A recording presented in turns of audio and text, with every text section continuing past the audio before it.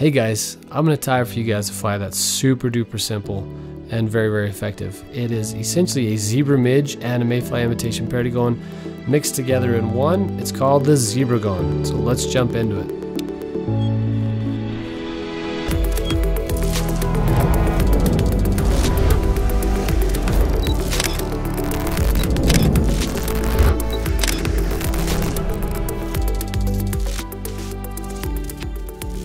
First I'm going to start with an Umpqua XC400BL barbless jig hook. I've got a slotted tungsten bead in the color silver that's 2.8 millimeter. This is a size 16. This is pretty big. Usually I fish these in 18s and 20s, but for tying purposes I figured I'd go with the biggest one that I actually fish. I do fish 16s. It's a fantastic pattern in this size, but I, I definitely wanted you to know that I tie it and fish it much smaller than this typically. All right, we're going to take some Veevus body quill, but I think it's important to note that you can use any type of thread that you have, just a small diameter thread. This stuff's pretty cool because it actually has thread and flash mixed in one. It's, uh, it's a fun material to tie with. But if you just have olive thread, that'll work as well. We're to go right behind the bead, do a few wraps, get us started here. We're to keep this fly pretty sparse, so we're not to take our, our wraps back yet. We're actually going to grab our tailing material, which happens to be three or four fibers of coq de leon. You're going to keep the tail very, very sparse as well. So what I do is I measure those out to about the length, about the same uh, length as the hook shank. And we'll go ahead right up there behind the bead, do a pinch wrap, make sure that it's looking like the length that we want. And I'll actually just hold those in place I'll take this Veevus body quill and wrap it back about there. That looks pretty good. Get that tail to stick up a little bit. Okay. Okay, now we're going to take a piece of small silver wire. On a size 16, you could actually use brassy size, but we're going to keep it with small. I'm going to just tie that piece of wire in. I can just hold it on the near side. There we go. Once again, we're keeping the body of this fly very sparse.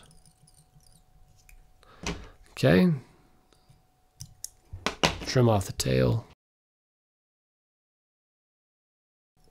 Okay, now I'm just to slightly taper the body of this fly, just ever so slightly to about there.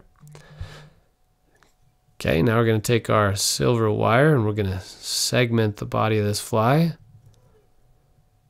Super easy, just like a zebra midge. Okay, we'll get the wire right up there behind that bead. Go ahead and make a couple wraps. Helicopter that bad boy off. All right, just about done here. Okay, and then you can just do a couple of turns on your whip finish here because the entire body of this fly is going to be coated. Okay, and then we can take and trim that up nice and short. All right, it's coming together pretty nice. It looks kind of like a zebra midge up to this point, which we all know zebras fish very well. But we're going to continue, make it a zebra perdigon, a zebra zebragon. Next, we're going to take some black nail polish, just a little bit. I'm going to keep most of it in the bottle. We only need a little tiny dot. And we're going to put it right there in the slot where the bead and the body of the fly meet together. That's going to imitate a wing case on a mayfly or on a midge pupa, which is kind of cool. So it doesn't take much, just a little bit of black right up on the front there. Okay, and usually I tie these in batches. I'll tie up a dozen, a half a dozen, and I'll get them to this stage, put them on a piece of foam, let them all dry. But tonight, we're just going to talk about color schemes for a second while that dries. So another one of my favorite variations is to use red thread, silver wire, and then the black up top. It looks a lot like some of the midge pupa that we that we see around here. So red is one of my favorites, red and silver. Black and silver works great. Olive, as always, does a fantastic job. You can use cream. Some guys like a light colored zebra. Um, the sky is the limit. A lot of options with this guy. Super easy to tie, and you can do a lot of really cool things and find what color scheme, whatever fish is best for you. So it's kind of a fun pattern to mess around with. Okay, now let's hope that that nail polish is dry enough. We're going to take a clear coat material. This is Raid Zap Thin. stuff works really well. We're going to go ahead and turn this guy into a perdigon. So if I get a little too thick, I can just touch the metal stem. And that'll remove a little bit of that. Okay, that's looking pretty good though. Let's go ahead and hit that with the light. This, my friends, is a zebragon. Basically a zebra midge with a tail, a little bit of a black wing case. And that's it. But it fishes fantastic. I fish it during baetis hatches. I fish it when midges are around.